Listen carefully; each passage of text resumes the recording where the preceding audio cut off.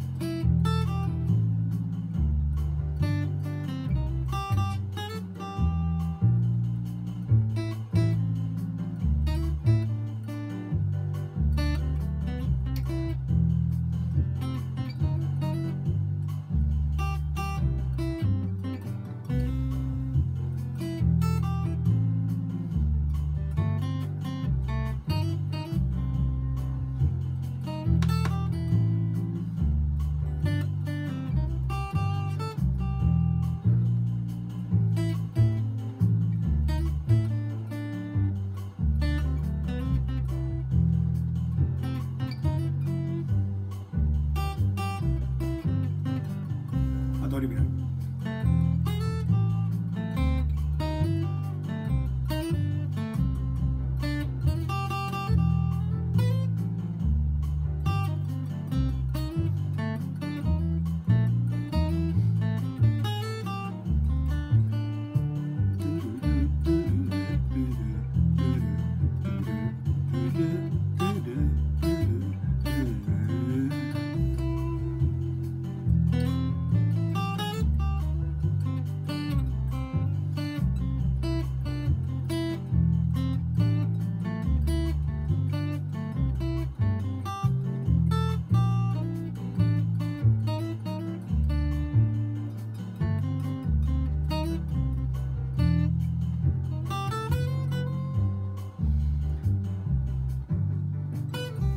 じゃあ、えーちょっと織り交ぜて遊びやってみましょう。